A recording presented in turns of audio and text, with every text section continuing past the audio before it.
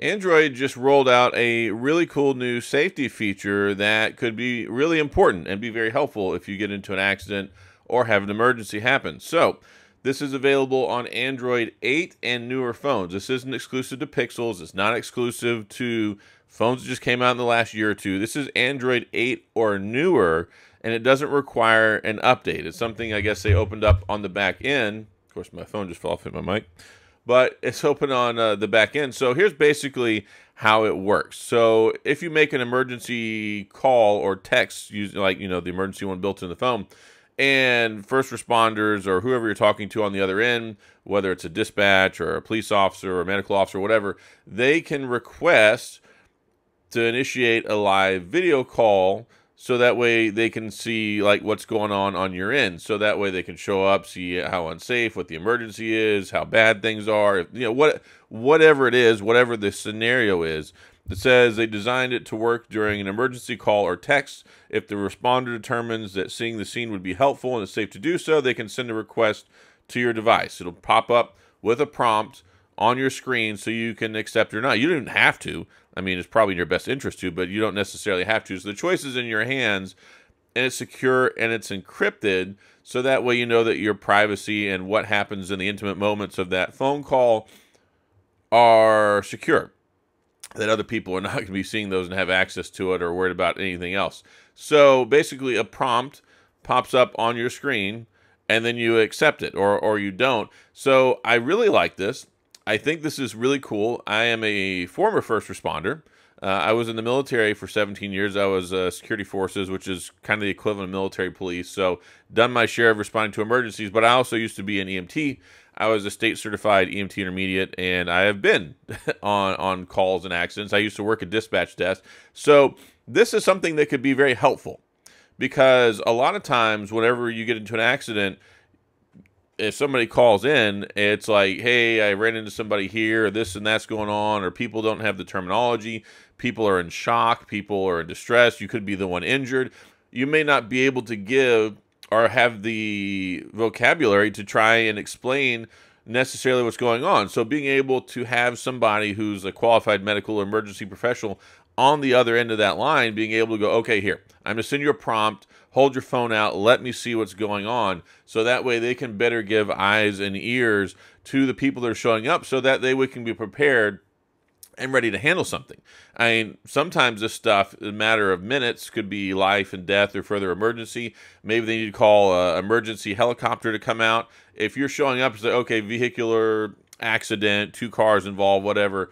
But if you get on the phone with somebody who calls in and they're like, hey, I'm bleeding really bad. I've got this going on. Like, here, turn it on. like, oh, wow, that's really bad. Yeah, we're going to send the emergency helicopter right now. It's going to get there a few minutes behind the ambulance. Or sometimes when ambulances go out, they may not even have a paramedic on them. It could just be an EMT intermediate, EMT basic. I don't know what different departments' policies are, but to make sure that you get the level of service and the level of emergency care that you need in that moment, this I think could be a very beneficial thing. And it's I, I'm glad to see this. This is not a feature drop. This is not something, it's not an app you need to install. You know that it's secure and it's done right through Android. And I hope that Apple adopts something like this too. We've been seeing so many different things now. We've got the emergency SOS phone calls. We've got the emergency SOS satellite with some of the different phones, with the satellite emergency calls or even text messages in some shape or form. So things are getting better especially in coverage in bad areas. Uh, like we've got things like Starlink floating around in the lower atmosphere where we don't have T-Mobile towers in the middle of nowhere, right?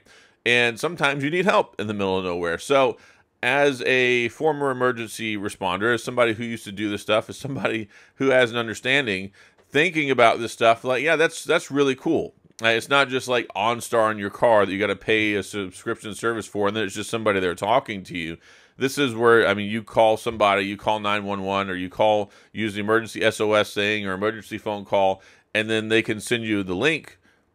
Well, it's not really even a link; it's a pop up, which is nice. So it just pushes through. It's a push through pop up.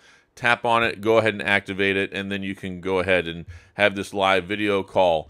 And I, I, think it's great. And again, all the way back to Android 8 or newer. So if you're still rocking a BlackBerry Key 2 with Android 8.1, you can avail yourself of this new feature. But I, am all about this stuff.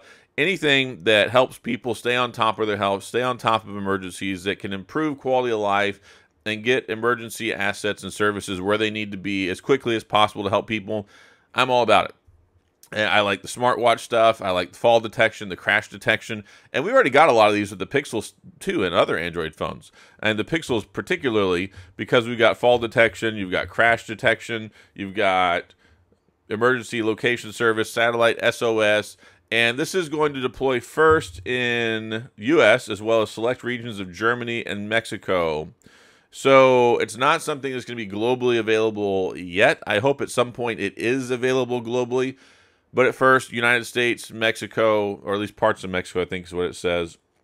Select regions of Germany and Mexico. So you guys and us guys, we're first. I hope maybe in the next year this will start rolling out to other places like Canada and UK, Japan. I, I think the more places that they can get this and the more robust uh, services that we have for folks carrying around smartphones who need help, who need emergency services, who need these things, I think it's a great idea this is one of those things that I hope that Apple will also do something very similar. That would be great too to get them on board as well. So that way we can get more coverage out to people in these moments of need. But anyway, I just wanted to share this video. Nothing too crazy today, but I want to tell you about this new feature. It is online, rolled out, I think yesterday, Android 8 or newer, United States, select regions of Germany and Mexico, emergency live video. That's how it works. That's the stick. And that's pretty much all I got. So if you have any questions, comments, gripes, concerns, complaints, all that stuff, please, of course, go to the comment section. I'll do my best to get back with you. If you enjoyed the video, please hit the like and the subscribe button and the little notification bell if you want updates when new videos come out. And as always, thanks for being here. I appreciate you watching. And I'll see you guys next time.